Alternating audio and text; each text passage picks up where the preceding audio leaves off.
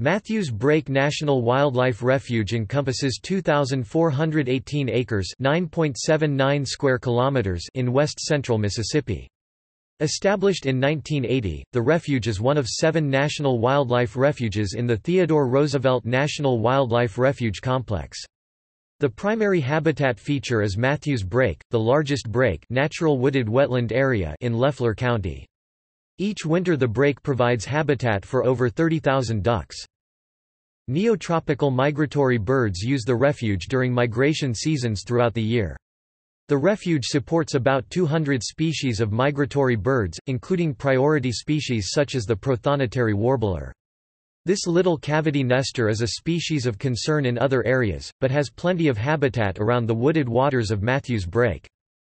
Refuge staff manage the water level in the brake to promote moist soil plants and to sustain oak trees around the edges for migratory birds.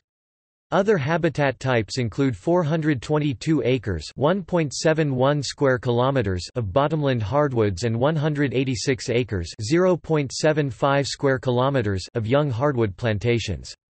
Hunting and fishing are the most popular programs on the refuge.